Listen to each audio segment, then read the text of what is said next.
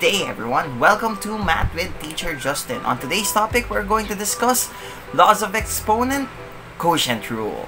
Quotient rule will only apply if and only if the operation is division and then they have the same base. So, our process is we're going to copy the base and then subtract the exponent. Ang pag-subtract natin will be the numerator, the exponent of the numerator minus the exponent of the denominator.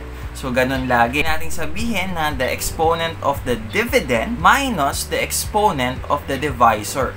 So, ganun yung gagawin natin if we are going to deal with exponents using quotient rule.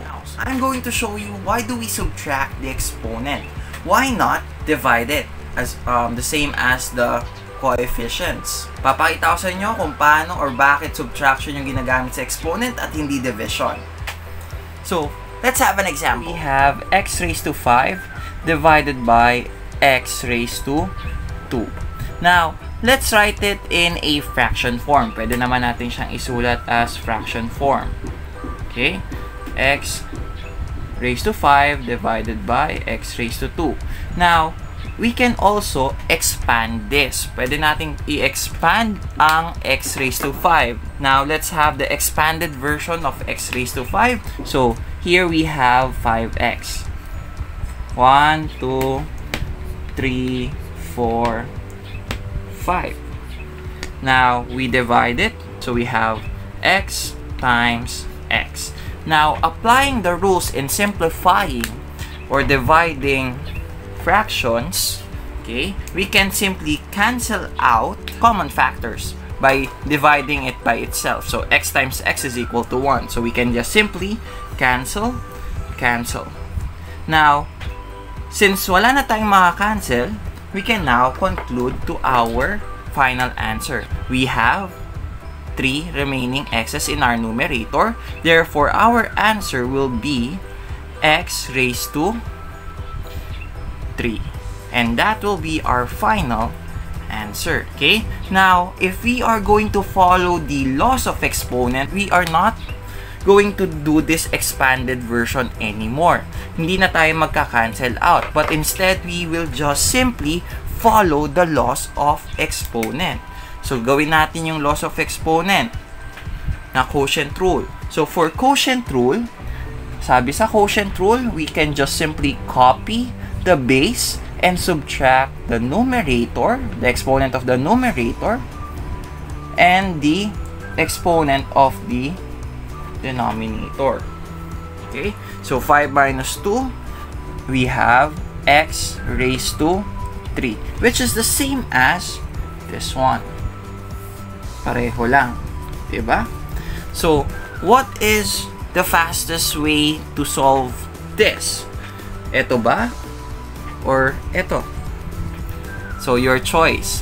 So, I just showed you how laws of exponent works. And yung laws of exponent, shortcut siya in order for you not to expand it anymore. Okay? Another example. For example, we have x raised to 12 divided by x raised to 7. So in this case, our operation is division. Therefore, we are going to apply the quotient rule. Knowing that we have the same base, we will just copy the base and then subtract the exponent of the dividend, which is 12, and the exponent of the divisor, which is 7. So simplify natin. x raised to 12 minus 7, we have x raised to 5. And this will be our final answer. Have Let's have another example. Let's have two or more variables. So we have a raised to 4, b raised to 7, c raised to 2 all over a raised to 2, b raised to 4, and c. We are going to follow the quotient rule. So we are going to copy the bases that are present in our given example. So we have A,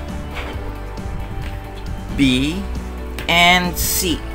Then afterwards, we're going to subtract the exponent. So numerator minus the exponent of the denominator. So we have 4 sa taas minus 2 b raised to 7 minus 4 and then we have here 2 minus Since walang nakasulat dito, take note, laging may invisible na 1 pag walang nakasulat na exponent. So, minus 1. And then we simplify this. We will have A raised to 2, B raised to 3, and C raised to 1. You can just simply write C. So, this is our final answer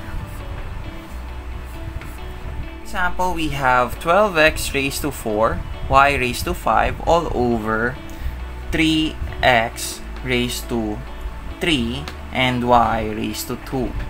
Okay, in this case, we have a numerical coefficient which is 12 and 3. For our numerator, it is 12 and for our denominator, it is 3. So, ang gagawin lang natin is we are still going to apply the rules in dividing integers. So, 12 divided by 3, that will be 4.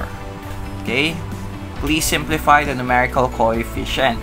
Then we now proceed to our variable. So the rules for laws of exponent, we will copy the base and then subtract the exponent. So we're going to copy the base, copy the bases that are present in this given equation or expression. So we have x and y. Okay, now we will subtract the exponent of x which is 4 and minus 3 and then 5 minus 2 okay then we simplify. We will have 4 x raised to 1 and y raised to 3 and that will be our final answer Didn't. Alam niyo na kung paano mag-simplify ng quotient rule. So, now it's your turn to try this. Practice exercise, simplify the following expression using quotient rule. So, ayan, if you need more time, you can pause the video. I'm going to reveal the answer key later. Ayan, after a few seconds kasi I don't want this to be long. Okay, so I hope Nagets nyo yung topic? Nasagutan nyo na lahat ng items na binigay ko?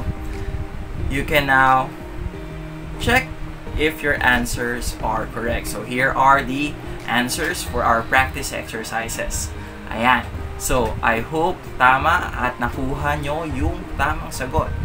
That's it for today. Goodbye. God bless and stay safe. See you on my next video. Peace.